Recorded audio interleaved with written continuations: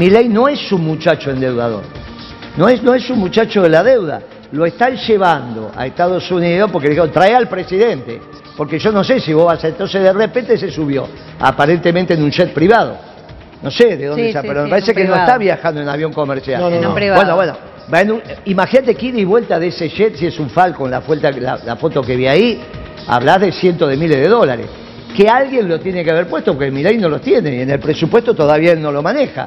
O sea, alguien hizo una dádiva, y ahí empezamos ya con un tema judicial muy grave, ¿eh? Para Milei, que si fue con un empresario, hay preso. eh, Jaime estuvo preso por eso, entre otras cosas. ¿Está claro? O sea, el presidente electo ya tiene custodia, ya es un funcionario. No es que no es funcionario.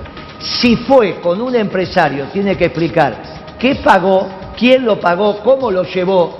Y a su vez después ese empresario va a tener que explicar si hace negocio con el Estado.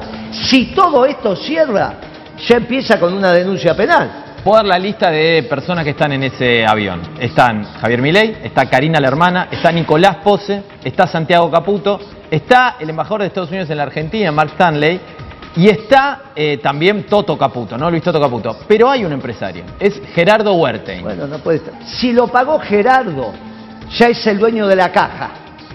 La caja de seguros.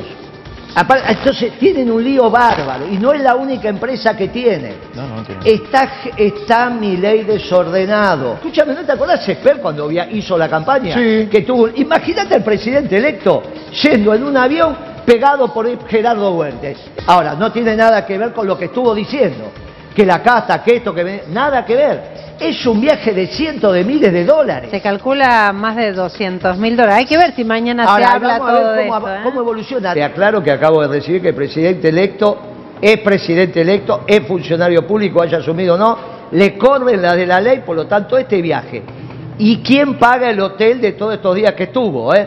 Porque ese hotel es de Elstein, que es el dueño, tiene el 40% del banco hipotecario, tiene los centros comerciales, el abasto, esto acá. No es un muchacho que está así nomás, ¿está bien? Es Encosud, o sea, está en todos los mercados si esa cuenta alguien la tiene que pagar. Y ahí empieza el problema de quién pone la plata y los negocios que se llevan.